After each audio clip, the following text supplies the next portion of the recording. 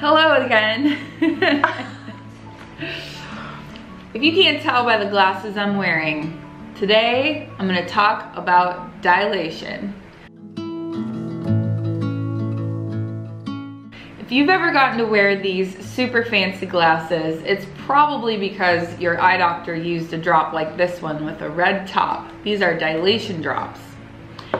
And most people don't really like to be dilated all that much, but it is a very, very important part of our eye exam. I personally recommend dilation for every patient every single year. So some of the frequently asked questions about dilation, um, most people are concerned about their vision when they're dilated. I can assure you that for most patients, vision at distance does not change from being dilated. What dilation is doing is relaxing your accommodative muscles it's relaxing the muscles in the iris so that your pupil opens up. It's just like opening the window so that we can see all the structures in the back of the eye. The side effect for you, however, is that your focusing system will be temporarily out of commission. For most patients, that's gonna affect them up close only. So you'll notice for about four to six hours, it's just difficult to see up close for reading and computer. However, if you are farsighted and your focusing system tends to over-engage, even for your distance vision, it is possible to have your prescription kind of come out a little bit when you're dilated. There are patients who have difficulty seeing at a distance when they're dilated, but for the most part, most patients are able to drive themselves. If you don't feel comfortable, we always understand that and we recommend that you bring a driver. We also offer in our clinic the opportunity to come back and get dilated a different day when you can bring a driver, a friend, a family member, someone to help you home. So other than being fuzzy up close for about four to six hours, there are some other side effects of being dilated. You will notice that you're much more light sensitive than normal. Now, on a rainy day, that doesn't present such an issue, but here in the South, in North Carolina, where it has been in the 100 degree range over the last week, um, we can have some really sunny days. And so when we do dilate that pupil and it just stays large, unfortunately it can't do its physiological duty anymore.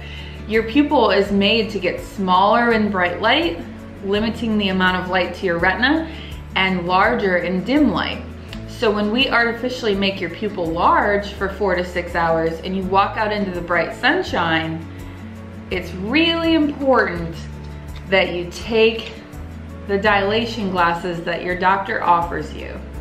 Now, dilation can affect some patients more than others. I've personally found that if you're very light-eyed whether that's green or blue, dilation tends to affect you maybe a little bit on the longer side. If you have very dark irises, dark brown for instance, it tends to not affect you quite as long. Your dilation should go away if standard um, dilation drops are used within about four to six hours. There are instances where we use stronger dilation drops and your doctor will likely tell you that they're doing that and let you know that your dilation's expected to last closer to 12 or 24 or longer hours. One other frequently asked question about dilation is can I put my contact lenses back in afterward? So there is no problem with putting your contacts in after you've been dilated as long as you just wait at least 10 minutes or so. The drops, you just don't want the drops to soak into your contact lenses and then each and every time you put the lenses in, you get dilated again. That is not a good day. So I have a couple of tips for next time you get dilated. Um, I'm being a little bit facetious, but I also mean it. If you're unsure of how dilation will affect you, bring a DD, that's a dilation driver, to take you home afterward. The other thing I wanna encourage you to do, don't turn down these awesome dilation glasses.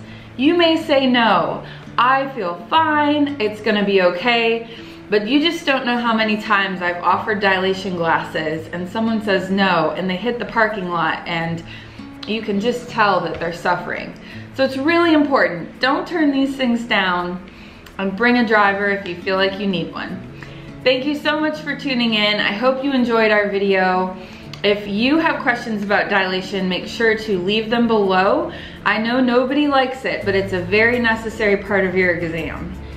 Make sure to tune in every Wednesday at 4 o'clock and we will see you next time.